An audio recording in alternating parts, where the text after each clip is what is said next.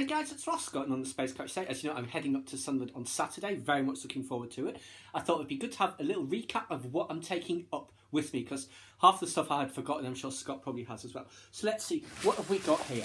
So in this one, the Skovox Blitzer that I got for what was it, like a pound or something ridiculous from the Entertainer. The Green Predator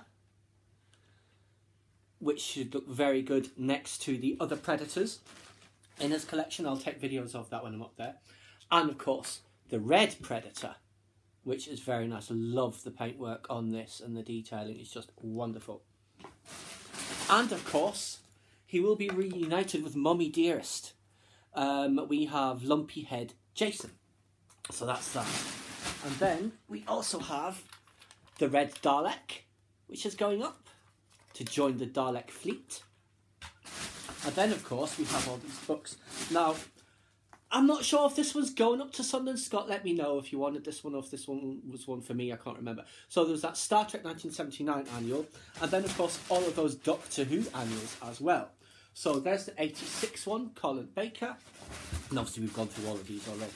So, uh, next. Peter Davidson. I'm not sure which year that one is, whichever year it was that he was the doctor, I expect.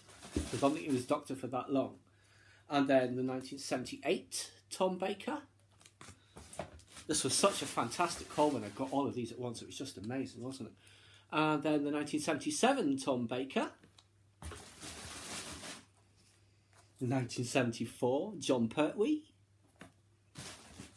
And then the Dalek annual 1977, which I had never seen before. And also, just one moment, there is also this, which I had completely forgotten about, was on the side, the little Dalek book as well. So that is everything that's going up to Sunderland. I'm really looking forward to presenting it all to Scott and um, seeing how it all gets rearranged in his various collections. Like I said, I'm also looking forward to taking some videos of those because he's done some great rearranging.